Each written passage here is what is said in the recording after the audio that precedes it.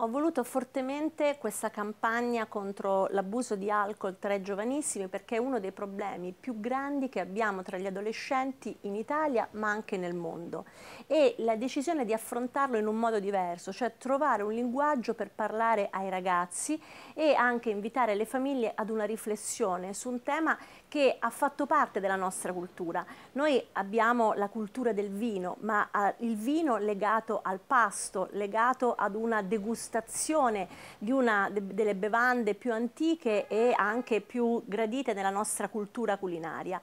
Questo che sta accadendo oggi nel mondo giovanile è un'altra cosa, completamente diversa. Abbiamo ormai da dieci anni in Italia l'entrata una moda che era soltanto dei paesi nordici, cioè quella di ubriacarsi a prescindere dal, dal pasto e di cercare lo sballo attraverso l'alcol. I dati che noi abbiamo sono veramente eh, inquietanti. Voi immaginatevi che 3,3 milioni di morti nel mondo, cioè il 5,9% di tutti i decessi sono legati al consumo eh, di alcol. In Italia 775 minori, cioè tra gli 11 e i 17 anni, ripeto tra gli 11 e i 17 anni hanno consumato l'alcol lo scorso anno e questo è ovviamente una stima a ribasso. Non solo, ma il 10,5% dei ragazzi e il 7,9% delle ragazze consumano alcol fuori dai pasti, quindi con l'unico scopo di ubriacarsi.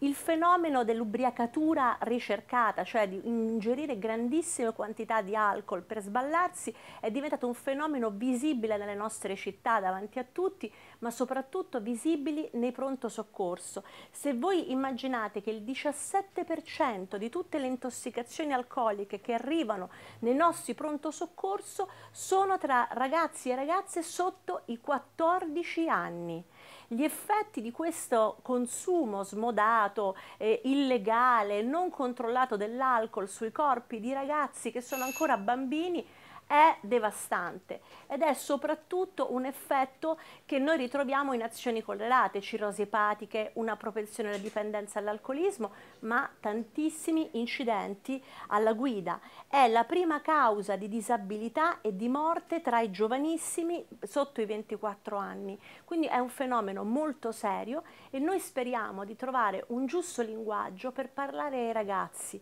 e dirgli con grande semplicità di stare attenti, di non abusare di alcol, di non bere quando sono così giovani e soprattutto anche di rispettare quella che è la legge, cioè che prima di 18 anni non si possono consumare alcolici.